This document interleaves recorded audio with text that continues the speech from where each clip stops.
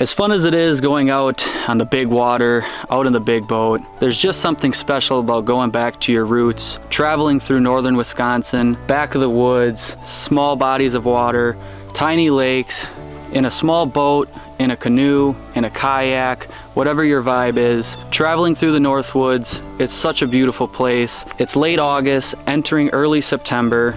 Fall vibes are hitting hard, the leaves are starting to change. It's absolutely beautiful up here in God's country. Today, we are traveling up to a small body of water out in the middle of nowhere. The goal for today is to get into some big panfish and just enjoy the scenery around us. What is going on everybody? Welcome back to NB Edits.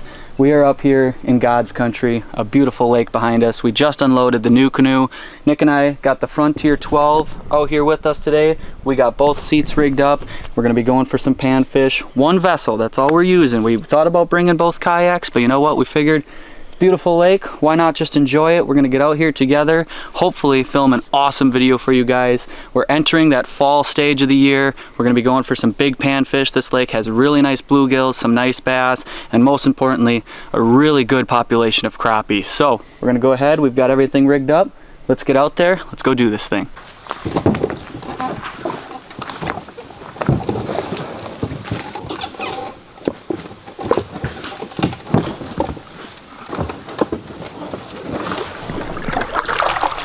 You guys, we have made it out. A little interesting getting off the water because the water seems like it's a little low and we are in a kayak, but absolutely gorgeous out here. I'm getting a free ride, chilling out here in the front. I didn't bring a paddle, so Brandon's doing all the, the manly uh, lifting today, but that's all right.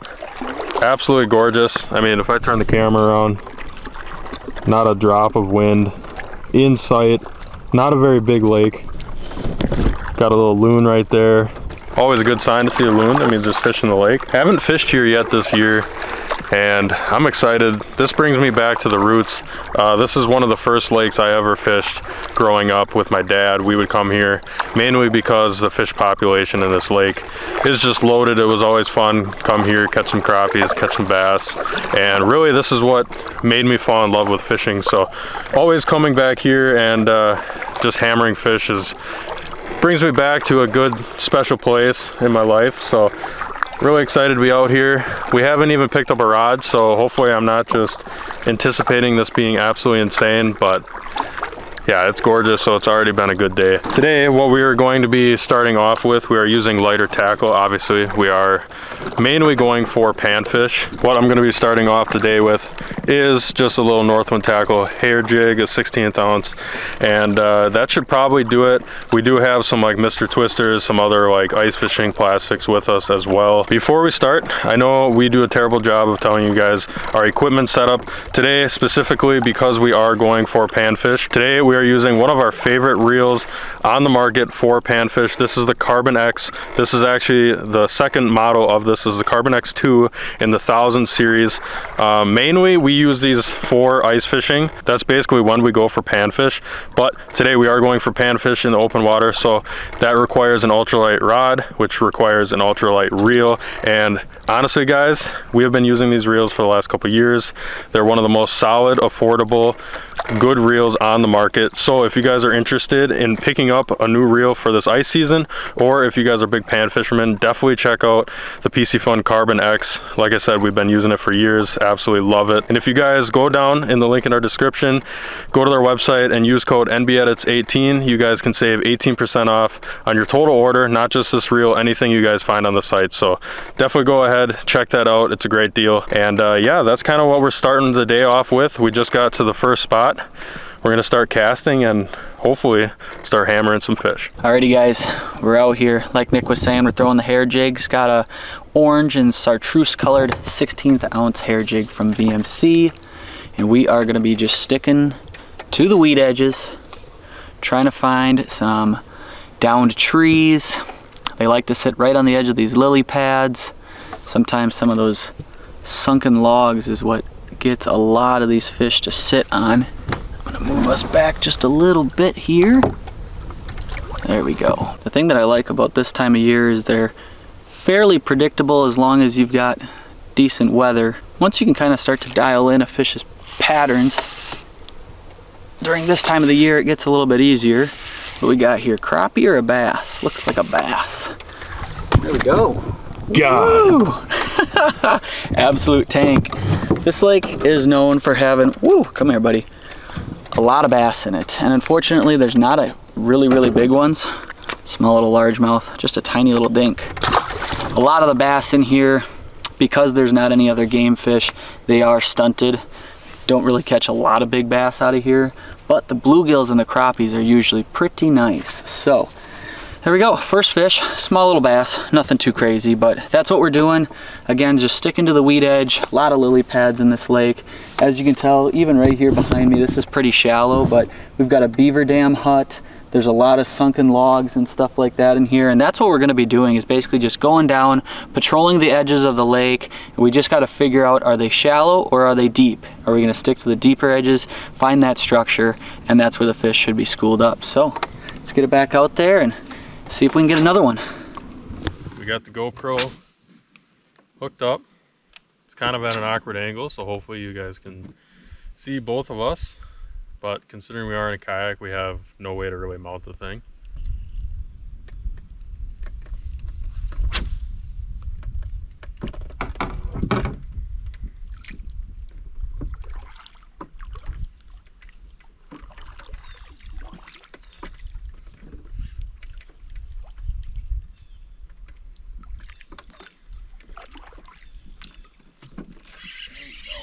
Fish. Is this the right species? No.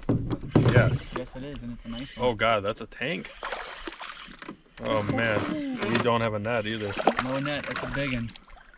Come on. Oh god. Oh god.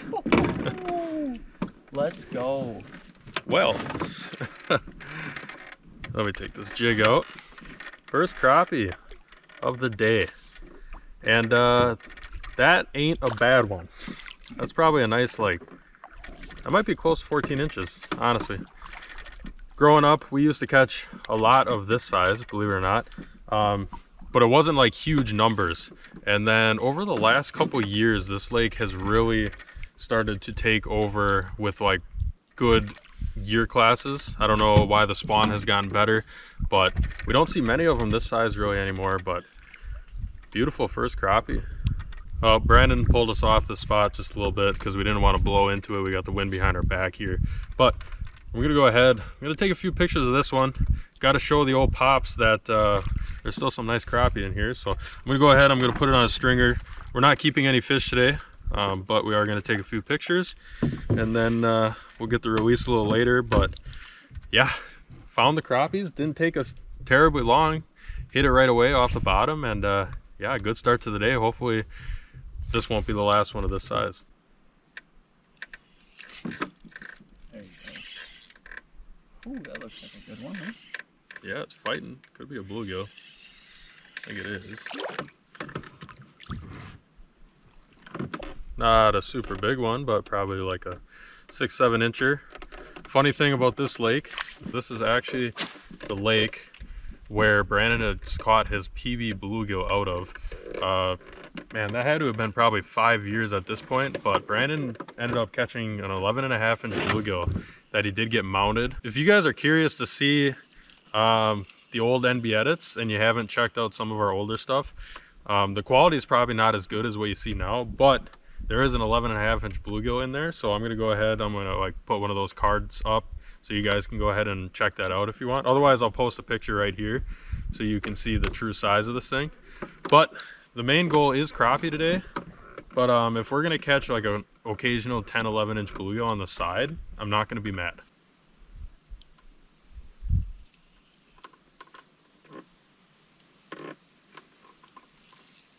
There's one. Crappie. Holy cow. Nice little crappie for me. Probably about a third of the size of the one that Nick just caught, but uh, you know what? Not a bad fish. Just under keeper size, but again, this is kind of what Nick was talking about year class wise. This lake is thriving now, and we've got a lot of them. This I'd say this is on the smaller side, but between this size and that like 10, 11 inch range, A lot of them in here. We don't see a ton of giants that are that 13, 14 inch size, but they are still in here. And luckily Nick got one. Go ahead and get this guy back. But uh, yeah, first one for me. Not bad.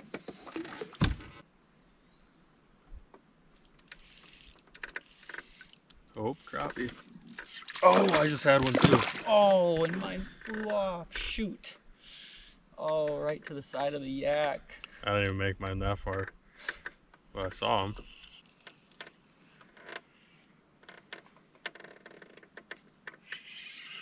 Oh boy, look at that. He's running. Pretty nice one. Not bad. Maybe the biggest bluegill of the day. Not terribly big, but nice, I don't know, seven, eight incher. No idea where the crappies have gone.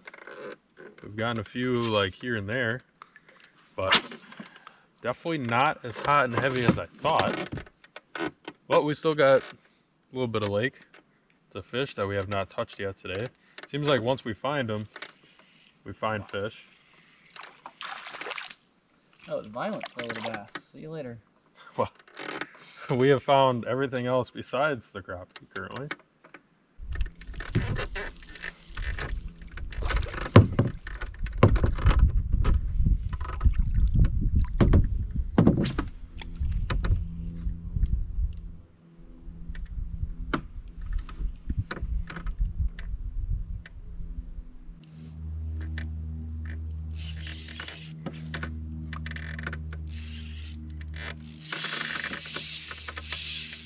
Wow. Holy. Brandon, I'm gonna need you to get your line out of my way.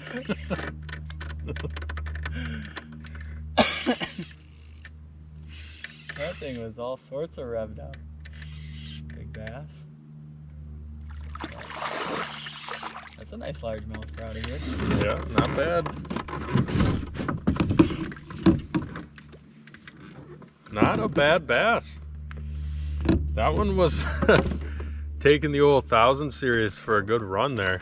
Nice drag pulling, but I don't know, not too big, probably only 16 inches, but fun little fight on the ultralight tackle. Oh God, what do you got?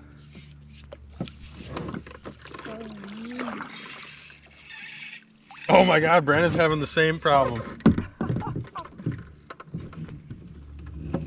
Another dog.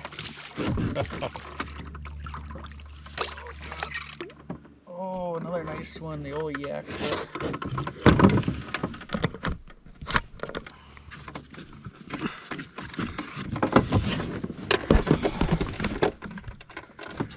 It's been on the slower side for the crappies. Oh God! Grab it. Jesus. Dude. No. I might have to go swimming. Not a giant, but out of this lake, that's a pretty good one. Go ahead, get him back. See you later, buddy. I uh, managed to drop my rod in the water. Luckily, it's like five, six feet here, and we could see it. But uh, got a little crazy. I unhooked him, and it's a little tight with two people in the yak, you know. So I went to slide out of the way as Nick was grabbing the camera, and uh, yeah, just dropped her in right there. It's pretty cool.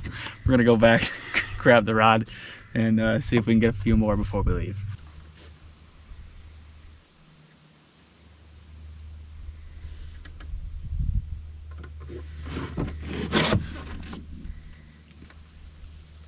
Wanna move us forward?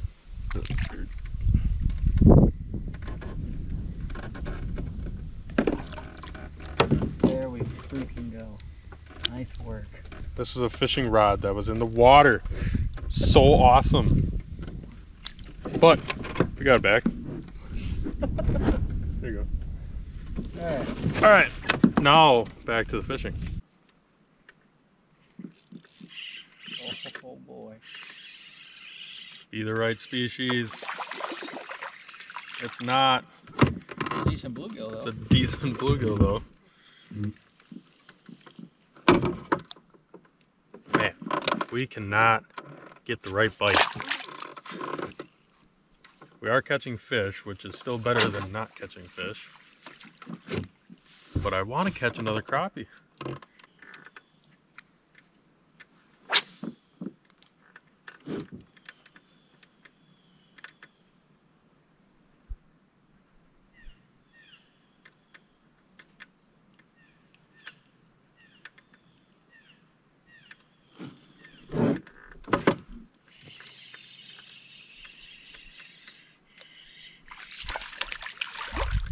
Oh my God. I don't even believe it at this point. But we have found another crappie. We have lost, I don't know, two, three, four, five crappies. But finally landed another one. They are absolutely buried in the weeds, which is the main problem because we have no way to get in the weeds and they're definitely not coming out. I mean, you might be able to get lucky and get one right on the edge, um, but it's it's been a struggle. Seems like if you get it in front of them, they will eat. It's just getting it to that point. But we got another one. We know they're here. Just got to find a way to catch them.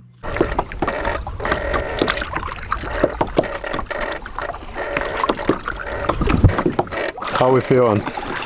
Ah, had such high hopes. Came out and got a hold of that one really nice fish early. Well, we caught some nice fish. Just really wanted to put a clinic on them today, and I think with the cold front, just made it a little bit more difficult than we thought it was going to be. Like I said, caught some really nice fish, but we do got to get going back. So we are kayaking back to the landing, and we'll see you guys when we get to the truck.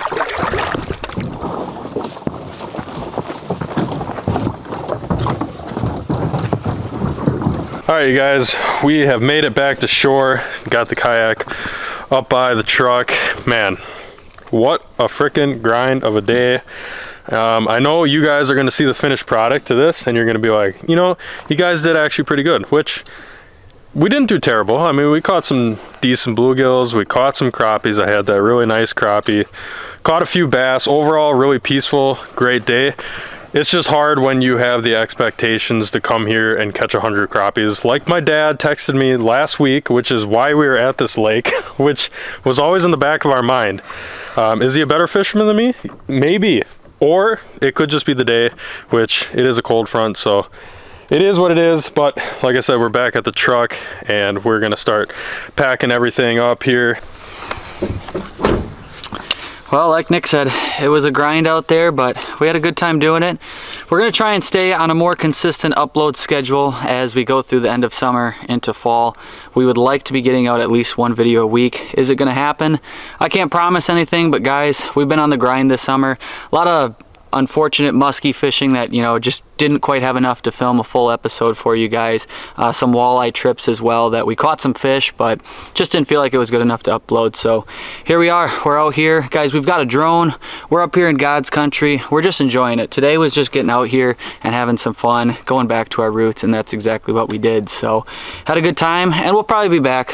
Cold front days kind of suck but we had a blast. So if you guys enjoyed, make sure to slap that thumbs up button for us. We'd really appreciate that.